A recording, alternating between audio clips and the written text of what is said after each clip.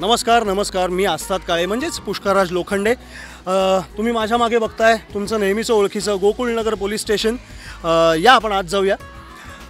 Police station म्हटलं की आपल्याला नेहमी ओळखीची अशी दिसते. प्रत्येकाच्या ओळखीची नसतेच पोलीस स्टेशन्स पण तरी पोलीस स्टेशन म्हटल्यावर आपल्या डोक्यात तयार होतं ते चित्र म्हणजे अशी खूप माणसांची वर्दळ ये जा वर्दीतले कडक वर्दीतले अनेक पोस्टवरचे पोलीस ऑफिसर्स हवालदार आणि सगळे. पण आत्ता तुम्ही इथे बघते की वेगळंच वातावरण आहे. असं सणासुदीसारखं रांगोळी वगैरे काढली जाते किंवा पोलीस स्टेशन आत्ता हे थोडं झाकलं आहे म्हणून पण आतमध्ये पाहिलं तर असं सजवलं आहे वगैरे. तर का? कारण ह्या पोलीस स्टेशननी एका मोठ्या ड्रग डीलरला इथल्या ह्या पोलीस स्टेशनमधल्या पोलीस ऑफिसर्स आणि स्टाफनी पोलीस टीमने एका मोठ्या ड्रग डीलरला अरेस्ट करण्यात यश मिळवलं आहे ती केस सॉल्व्ह करण्यात यश मिळवलं आहे आणि म्हणून या पोलीस स्टेशनमध्ये एक छोटासा आपल्या मराठमोळ्या हिंदू पद्धतीने एक छोटासा समारंभ आहे. सत्यनारायणाची पूजा घालून ते हे ते हे यश सेलिब्रेट करत आहेत तर आता सगळ्यांना भेटायला जाणं जरा अवघड दिसतंय कारण आतमध्ये थोडंसं त्यांचं महत्त्वाचं शूटिंग पण चालू आहे. तर तुम्ही हे बघू शकताय की इथे पुढच्या शॉटची पुढच्या सीनची तयारी म्हणून ही रांगोळी फार सुंदर रांगोळी काढली जाते इथे. ॲक्च्युली माझा सीन झाला आहे त्यामुळे मला खूप वेळ मी तुमच्याशी गप्पा मारू शकतो आहे म्हणून मी आता हे तुमचा तुम्हाला आमचा हा सेट दाखवला. इकडे चाळीचा सगळा सेटअप आहे. पण आज मेन कॉन्सन्ट्रेशन आमचं सगळ्यांचं जे ते म्हणजे आमच्या इथली ही सत्यनारायणाची पूजा.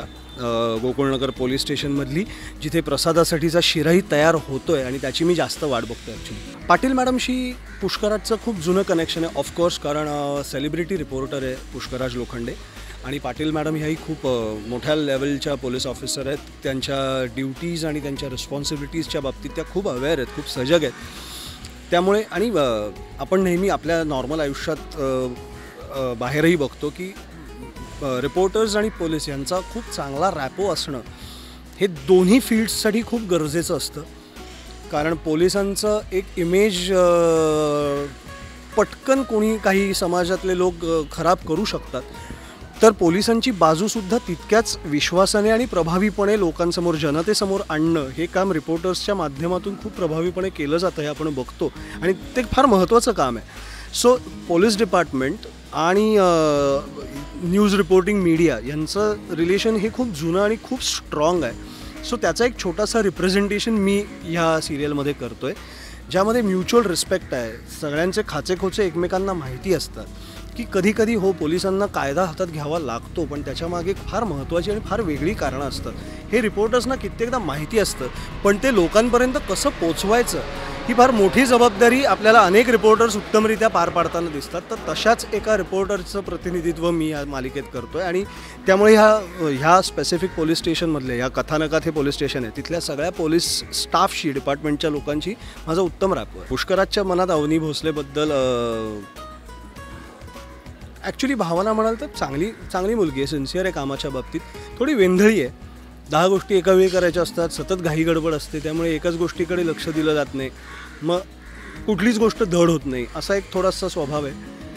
वडिलांच्या बाबतीत हळवी आहे. ऑफकोर्स असणार कारण वडील अगदीच ती जाणत्या वयात असताना वडील गेलेत. आणि त्यामुळे तिने ठरवलं की आपल्याला डॉक्टर व्हायचं होतं ते सोडून आपण पोलीस खात्यात नोकरी करूया.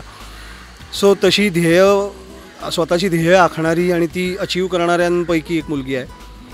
पण बाकी इमोशनल अटॅचमेंट वगैरे पुष्कराजच्या बाजूनी तरी अजून नाही आहे तिच्या बाजूनी थोडंसं सुरू झालेलं आहे पुष्कराजविषयी फिलिंग्ज असं नाही म्हणणार मी.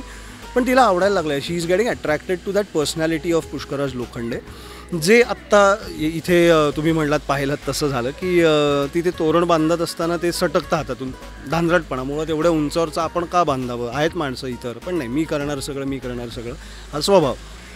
तर ते पडतं हातातनं आणि मग ते मी तिला द्यायला जातो तर त्या स्टुलावरनं तिचा तोल जातो. कारण तिचं लक्ष तिकडे नसून माझ्याकडे म्हणजे पुष्कराजकडे येतं. आणि मग ते मागे व्हायलिन्स वाजायला लागतात वगैरे वगैरे सगळं. सो तिचा तोल जातो आणि मी तुम्ही म्हटलं तर मी तिला झेललं. ॲक्च्युली अगदी खरं सांगायचं तर मला अजून खरं तर कल्पना नाही की हे नातं कसं डेव्हलप करत नेणार आहेत. कारण सुरुवात झाली ती मा मला तिच्याविषयी चिडचिड चिडचिड होणं माझी. तिलासुद्धा नक्की माझं काय चुकतं आहे तुम्ही काय सतत बोलता ऐकून घ्यायला शिका असं ती पण एक दोनदा मला सुनावलं तिने. आत्ता कसं आहे तिच्या बाजूनी सॉफ्ट कॉर्नर तयार झाला आहे माझ्या बाजूनी यार ओके यार. चांगली मुलगी आहे वाईट नाही. आपण नको एवढं उगत चिडायला तिच्यावर. ह्या लेवलला मी पण आलो आहे पुढे माहिती नाही कारण पुष्कराज बऱ्यापैकी प्रॅक्टिकल माणूस आहे. सो कसं डेव्हलप करत नेतील सांगता येत नाही पण डेफिनेटली ही केमिस्ट्री अजून वाढेल आणि प्रेक्षकांना बघायला मिळेल असं नक्कीच आहे.